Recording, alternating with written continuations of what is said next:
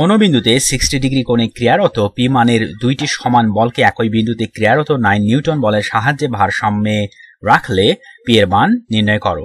লক্ষ্য করা যাক। এখানে বলা হচ্ছে যে এখানে তিনটি বল রয়েছে। পি মানের একটা বল রয়েছে, আবারও পি মানের একটা বল রয়েছে এবং নাইন নিউটন মানের একটা বল রয়েছে, ঠিক আছে? এবং এই তিনটি বল কিন্তু ভারসাম্যে রয়েছে। তাহলে আমরা এখানে লামির সূত্র প্রয়োগের চেষ্টা করতে পারি। কিন্তু সমস্যা হচ্ছে এখানে মাত্র এক জোড়া বলের ভিতরের অভ্যন্তরীণ কোণ দেওয়া আছে, এবং তা হচ্ছে সিক্সটি ডিগ্রি তাই না? পি এবং পি লক্ষ্য করা যাক এই দুইটা বলের অন্তর্ভুক্ত কোণ কিন্তু দেওয়া আছে সিক্সটি ডিগ্রি হুম, ফলে টেকনিক্যালি আমরা কিন্তু এখানে লামির উপপাদ্য প্রয়োগ করে, ঠিক আছে, আমাদের এখানে এই সমস্যার সমাধান করতে পারব না, কারণ এখানে প্রকৃতপক্ষে অপর্যাপ্ত ডাটা দেওয়া আছে, আমরা পি এর মান জানি না, আবার মাত্র একটি কোণের মান দেওয়া আছে এবং একটি বলের মান দেওয়া আছে, ঠিক আছে?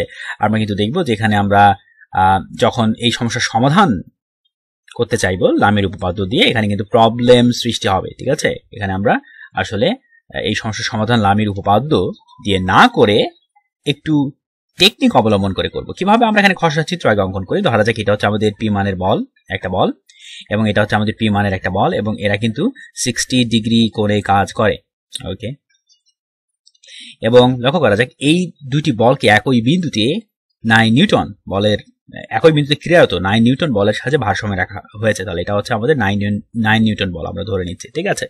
হুম ইন্টারেস্টিং এখন বলগুলোর ডিরেকশন এরকম হলো কেন? ডেফিনেটলি তারা সাম্যাবস্থায় রয়েছে এবং যেহেতু তারা সাম্যাবস্থায় রয়েছে, লক্ষ্য করা যাক, তাদের ডিরেকশনগুলো কিন্তু এরকমই হতে হবে। কেন? আমরা একটু পরে বুঝব। লক্ষ্য করা যাক, এখানে বলগুলো সাম্যাবস্থায় রয়েছে, তাহলে আমরা বলতে পারব যে কোনো দুটি বলের লব্ধি তৃতীয়টির, যে কোনো দুটি বলের লব্ধির মান তৃতীয়টির সমান হবে, কিন্তু তার ডিরেকশন হবে তৃতীয়টির বিপরীত। ঠিক আছে? তাহলে পি এবং পি এই দুইটা বলের লব্ধি লক্ষ্য করা যাক। লব্ধির মান হবে আমাদের নাইন নিউটন বলের সমান এবং এর ডিরেকশন হবে নাইন নিউটন বলের বিপরীত দিকে। তাহলে নাইন নিউটন বলের দিকটা কিন্তু এরকমই হতে হবে। কারণ লক্ষ্য করা যাক পি এবং পি এই দুইটা বলের লব্ধি কিন্তু ডেফিনেটলি আমাদের এরকম কোন একটা অবস্থানে, এরকম কোন একটা জায়গা দিয়ে যাবে। আমরা দেখতে পাচ্ছি, তাই না? পি এবং পি যেখানে অবস্থান করছে, তার মধ্যবর্তী কোন একটা জায়গা দিয়ে যাবে। তাহলে পি এবং পি এই দুইটা বলের লব্ধি হবে আমরা ধরে নিই যে এই সরলেখা দ্বারা নির্দেশিত, ঠিক আছে? এই এই সরলেখা দ্বারা নির্দেশিত কোনো একটি সরলেখা বরাবর লব্ধি এখানে কাজ করবে, পি এবং পি মানের এই দুইটা বলের, ঠিক আছে? তাহলে লক্ষ্য করা যাক, যদি এখন আমরা এই দুইটা বলকে এখানে মনে মনে কি বলব এটাকে, উপেক্ষা করি, তাহলে কিন্তু আমরা এই বলটা এবং এই বলটাই আমাদের চোখের সামনে দেখতে পাবো নাই নিউটন মানের বল এবং এই লব্ধি বলটা। এখন এরা কখন সাম্যাবস্থায় থাকবে, অর্থাৎ কখন এদের লব্ধি শূন্য হবে? যখন তাদের মান পরস্পর ইকুয়াল হবে এবং আমরা দেখতেই পাচ্ছি এখানে কিন্তু ডিরেকশন বিপরীত হবে, তাই না? হুম, তাহলে লক্ষ্য করা যাক, এখানে বস্তুত পক্ষে এই তিনটা বল এই তিনটা বল পি পি এবং নাইন নিউটন মানে যে তিনটা বল রয়েছে এখানে, এই তিনটা বল কখন ভারসাম্য থাকবে?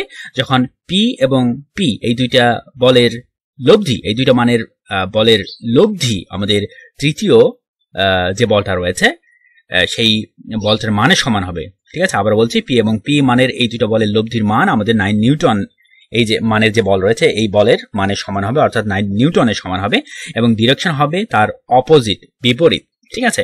হুম, তাহলে আমরা এখানে টেকনিক্যালি বলতে পারি, লক্ষ্য করা যাক, আমরা এখানে বলতে পারি যে নাইন নিউটন হবে প্রকৃতপক্ষে পি এবং পি এই দুইটা বলের লব্ধি, তাহলে নাইন ইকুয়াল আমরা পাবো রুট অফ লক্ষ্য করা যাক, আমরা পাচ্ছি P square plus P square plus two into P into P into cos আমাদের কত কোণ হচ্ছে sixty degree cos sixty degree ঠিক আছে? বা আমরা এখান থেকে বলতে পারব উভয় পক্ষে স্কোয়ার করে eighty one equal to two P square plus cos sixty degree মানে হচ্ছে হাফ টু ইন্টু হাফ কেটে যাবে, তাহলে এখানে পাবো পি স্কোয়ার তাহলে two P square P square যোগ করলে আমরা পাবো থ্রি পি স্কোয়ার উভয় পক্ষে থ্রি দিয়ে ভাগ করে আমরা বলতে পারব P square equal to twenty seven তাহলে পি ইকুয়াল কত? রুট অফ টোয়েন্টি সেভেন ঠিক আছে? তাহলে টোয়েন্টি সেভেনকে আমরা নাইন ইন্টু থ্রি আকারে লিখতে পারি। নাইন বাইরে নিয়ে আসলে পাবো আমরা থ্রি রুটের বাইরে নিয়ে আসলে থ্রি পাবো, তাহলে three into root of three ঠিক আছে? নিউটন তাহলে আমরা দেখতে পাচ্ছি পি এর মান প্রকৃতপক্ষে three root of three newton তাহলে এখানে যে দুটি বলের কথা বলা হচ্ছে, যারা এখানে সিক্সটি ডিগ্রি কোণে ক্রিয়া, ক্রিয়ারত রয়েছে, তাদের মান কিন্তু প্রত্যেক ক্ষেত্রে three root of three newton hmm, তাহলে এটাই হবে আমাদের অ্যান্সার